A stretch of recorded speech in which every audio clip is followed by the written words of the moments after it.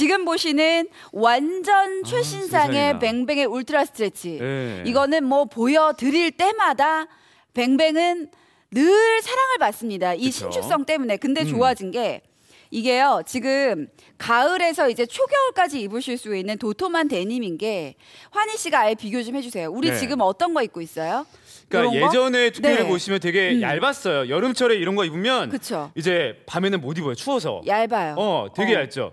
근데 역대 최신상의 딱 limited edition을 보면 오. 두께감이 확연하게 아마 비교가 되실 겁니다. 밀도감도요. 네. 그래서 지금만 잠깐 입는 게 아니라 음. 앞으로 11월 달 12월 초까지 초겨울까지 충분하게 입으실 수 있게 도톰하고 톡톡한 원단으로 만들어져 있다는 거예요. 네, 그런 지금 최신상이고 원단도 두꺼워지고 했으면 사실은 가격대가 많이 올라가야 되는데 지금 두 벌이 아니라 무조건 세 벌이 들어온 초특가로 5만 원대까지 지금 보시는 거고요. 일시불 5천 원 긴급 결정돼서 방송 직전에 저희가 이 희소식을 또 들었습니다. 그쵸. 진짜 혜택 좋아요. 음. 자, 지금 요거 블랙.